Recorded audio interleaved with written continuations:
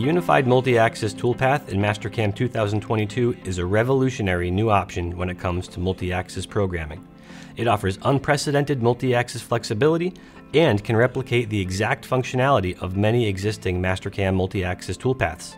Let's use Unified to replace some real toolpaths.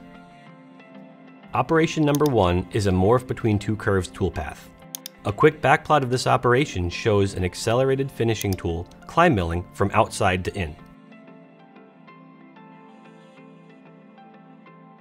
Let's open a unified operation.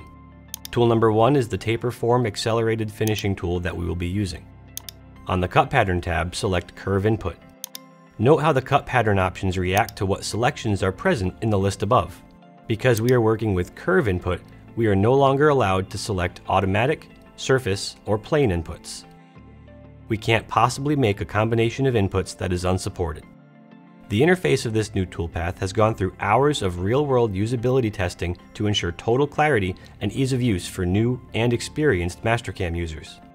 Now we can select the starting chain. Shift-click this solid edge to select all tangent edges.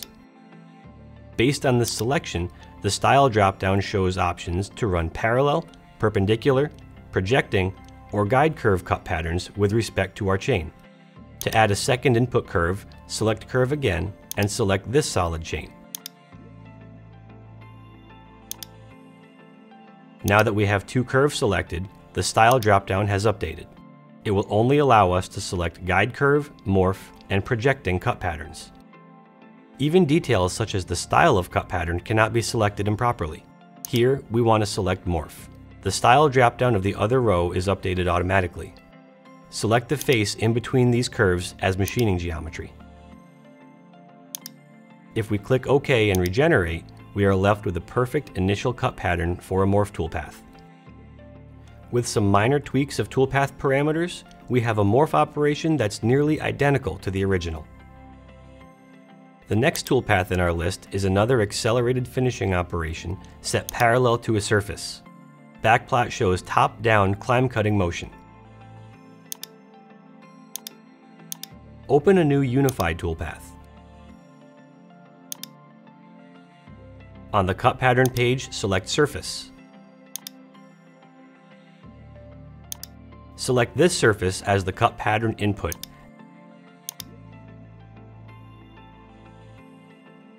And select these faces as drive surfaces.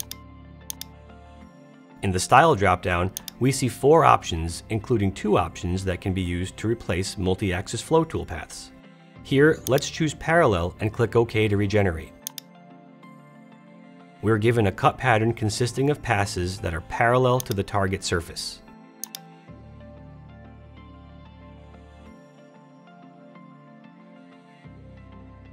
Again, with some parameter adjustments, we can make this operation match the original. The third operation in our list is the final accelerated finishing operation. This time, our cut pattern is set parallel to a plane. Again, backplot shows top-down climb cutting motion.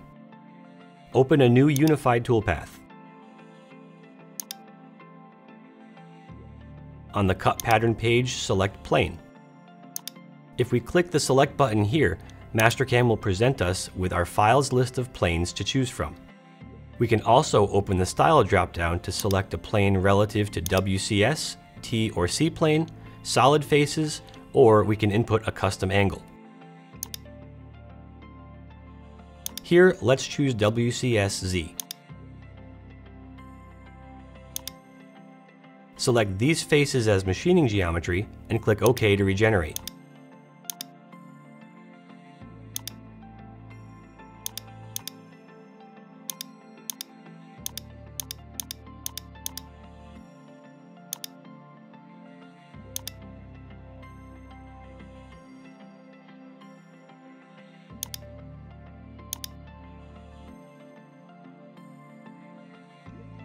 we see a perfect starting point for our toolpath.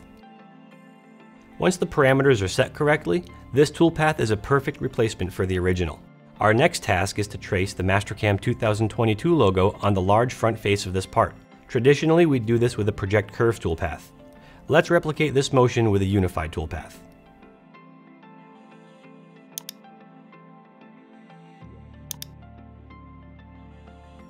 This time, choose tool number 13, on the cut pattern page, select Curve.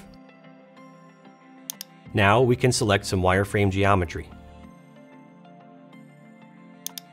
Toggle selection mode to window selection mode. Window select the logo and click anywhere to determine a start point. On the Style dropdown, choose Project. Select the main front face as machining geometry. Because this logo is floating in space, we need to increase the maximum project distance to 500 thousandths. Click OK to regenerate. If we hide level 10, we see the starting point of our Project Curves toolpath. With some minor adjustments, we land on the finished product.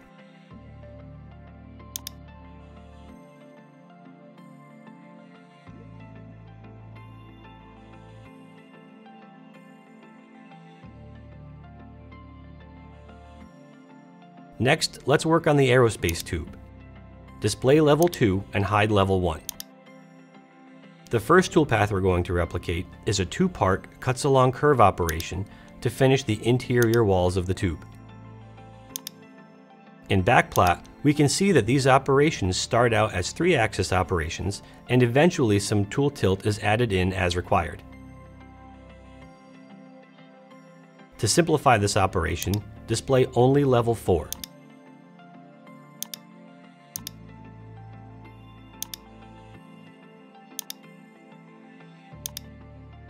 For the first side of the toolpath, open a unified toolpath and select Tool 6. On the Cut Pattern page, again choose Curve. Select the green chain from outside to in.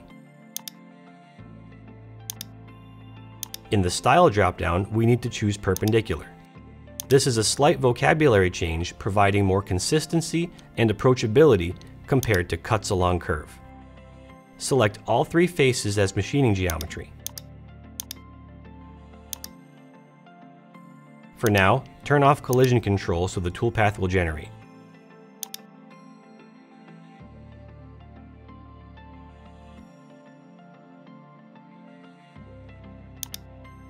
In Backplot, we see a perfect cut pattern that can become a finished toolpath with just a couple adjustments.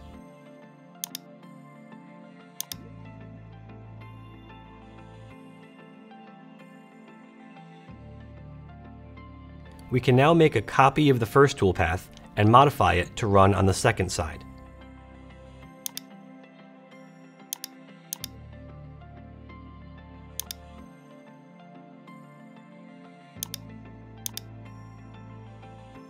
On the Cut Pattern page, clear the green curve from the selection by using the Clear Selection button. Now select the red curve from outside to in. With a couple of tweaks to the parameters, we have a finished toolpath from the other side of the part.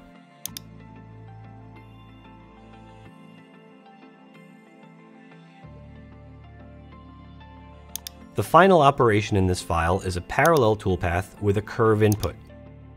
Display only level 2 and backplot this operation to see the motion.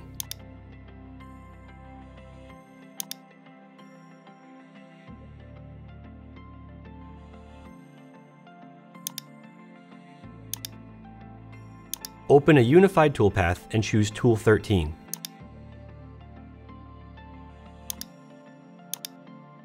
On the Cut Pattern tab, choose Curve.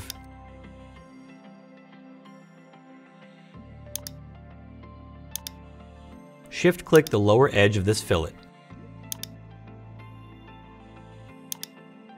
Set the toolpath style to parallel and select these three faces as machining geometry. Regenerate the toolpath to see the final cut pattern.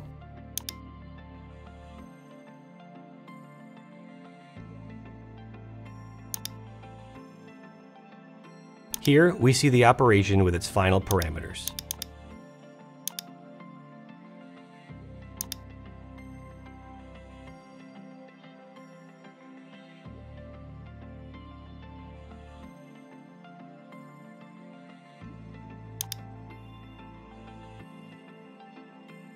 Just because Unified can completely replicate the functionality of these other toolpaths does not mean you're required to use it. If you're more comfortable with the existing multi-axis options, they are still in the software. But as you'll see in this next video, the amazing flexibility of the unified multi-axis toolpath in Mastercam 2022 makes it the absolute best choice for all things multi-axis.